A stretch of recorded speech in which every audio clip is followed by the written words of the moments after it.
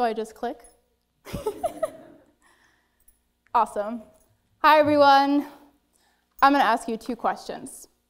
How many of you have ever felt like you didn't belong?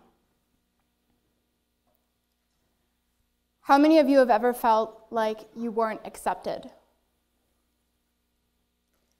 Now, what if I were to tell you that that feeling was part of the magic behind world domination?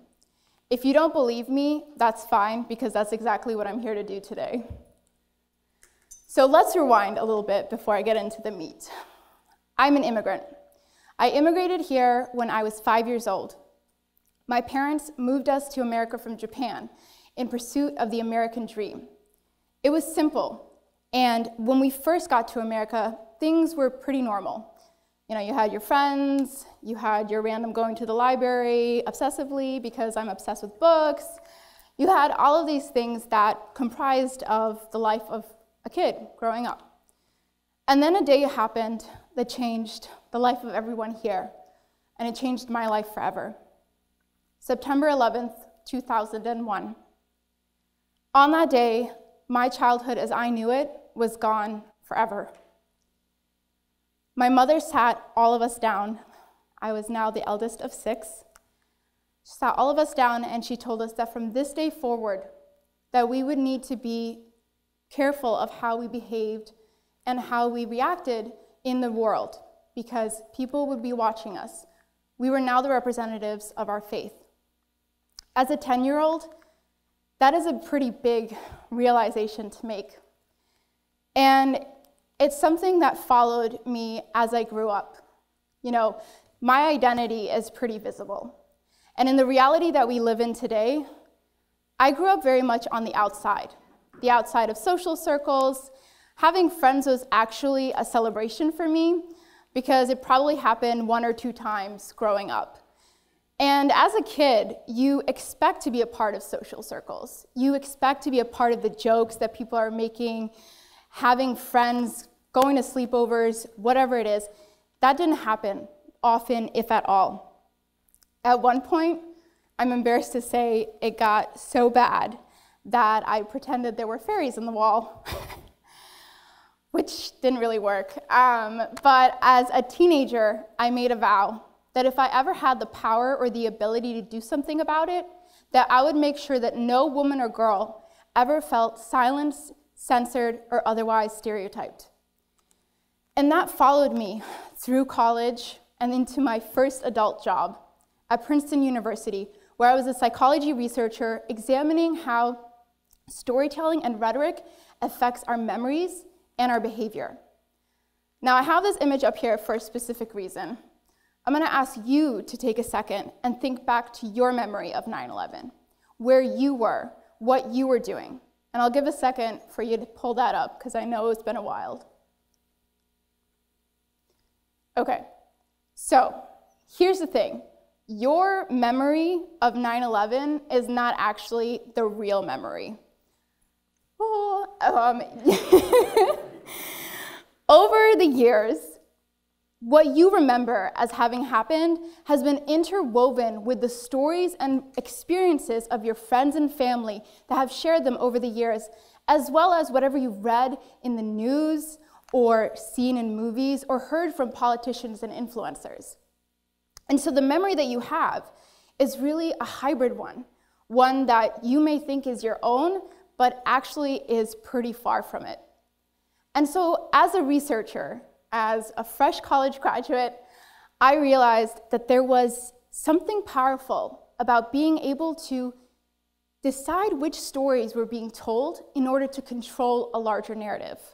This is where I would insert a diabolical laugh, but I promise that everything I'm doing is for the greater good. So, moving on, I decided, you know what, I have all of this information, let's try media. I was still working at Princeton at the time, and I was up at 3 a.m., as we all want to do right before going to work or school, scrolling through Facebook. And I happened upon the Facebook status of Arianna Huffington, who, if you know, um, used to be the owner of the Huffington Post. And she did, would do this thing where she would actually post her email address in her status updates. It's random, but I took a screenshot and I thought, hey, maybe one day I'm going to shoot her an email and let her know how awesome she is. Well, that day came a little sooner than I expected um, because a few months later, a news story broke out that was all about Muslim women and whether or not they belonged in feminism. Cue scary like music, right? And and I'm sitting there watching the news because, you know, obviously I don't have a job. I'm not trying to work to make my bills. Um, sarcasm. I'm sitting there following along, and I realized something is missing. And it was pretty big something. It was Muslim women. Nobody was actually asking Muslim women what their perspective was on them being involved in the feminist movement. So I pulled out Arianna Huffington's email.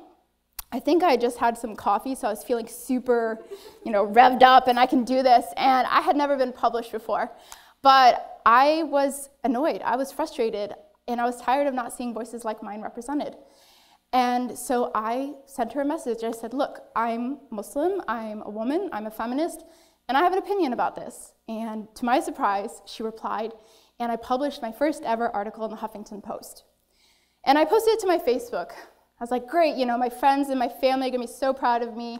This is great, I can check it off my bucket list, back to doing other things. No, the article went viral and I received thousands of hate comments. Fabulous.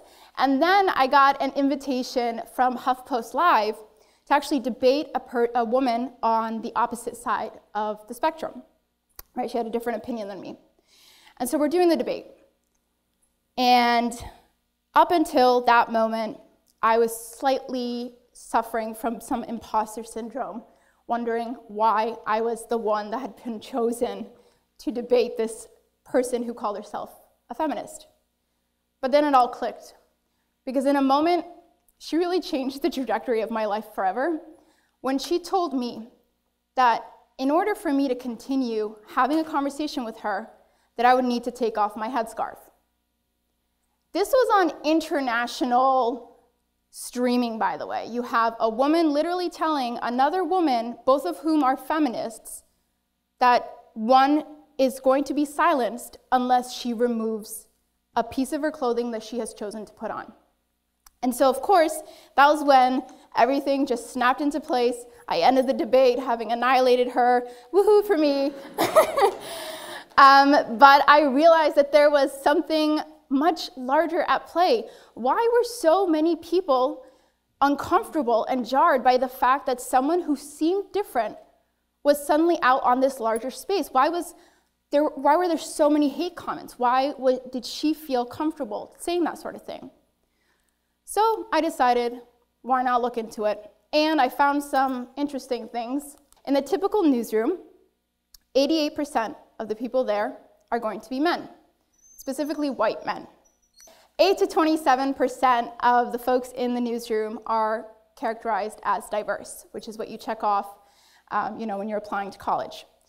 The thing that I found most disturbing, however, is that in the newsroom or in media at, at large, six, only 6% of media companies, including the ones that are for women, okay, are run or owned by women. And that's not just a problem that affects media.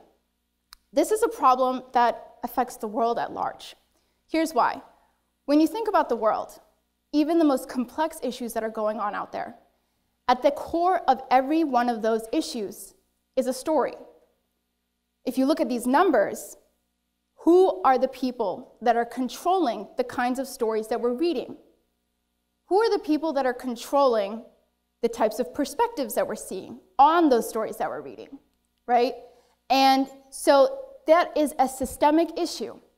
And as a natural next step for someone like myself, I decided why not launch my own media company? Because huzzah! So I started a global media company called The Tempest, which focuses on changing the narrative of diverse millennial women in the world. And the reason I called it The Tempest is number one, Shakespeare is amazing. And number two, we're not here to just, you know, publish a few stories, call it a and walk away. That's not who I am. That's not what we were looking to do. We weren't looking to make a few ripples. We were looking to create a storm. And what better way to create a storm than to create a tempest? So I figured that that name would fit in pretty well. So here I have this company. I have everything lined up and I have the door open and there is nobody there, crickets. I thought that women would be lining up to share their stories. Turns out it took me six weeks to get my first story. And the thing that I heard over and over again from the women that I approached, many of whom weren't writers before this, was that they felt that their voices didn't matter, that their story wasn't important. It wasn't a story that others would be interested in reading. And so, with that understanding, I realized something.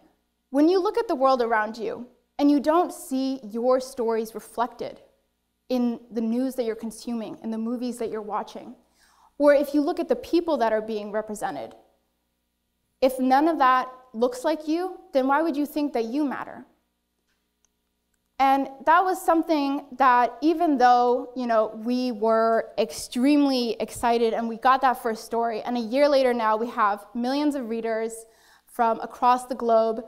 We have over a thousand women writing for us from more than 20 countries on every topic under the sun, and a fantastic global team of contributors and team members.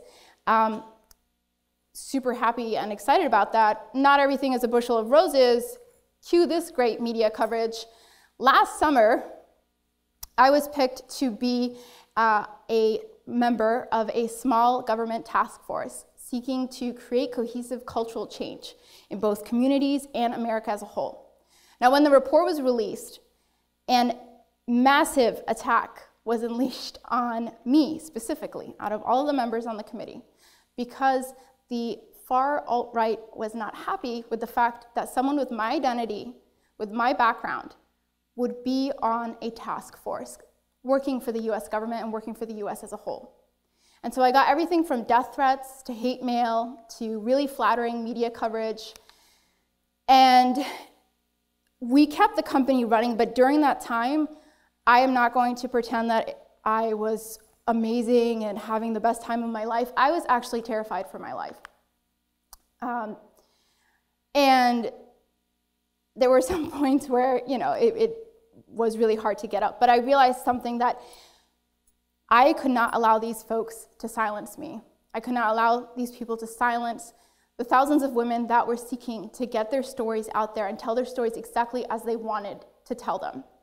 Because there was something bigger at work here. And that something is the fact that the world today, if you think about it, has divided us very strategically into different groups. We're all about what makes us different, what makes us special, what makes those people different, who we should hate, who we should be attracted to. All of these different norms have made us uncomfortable to engage with people that we perceive as the other. But the funny thing is, is that when you look at neuroscience, you find that they've that the social connection is actually a potent thing for human beings. And we've quite literally been stripped of that ability because of our fear of what's different.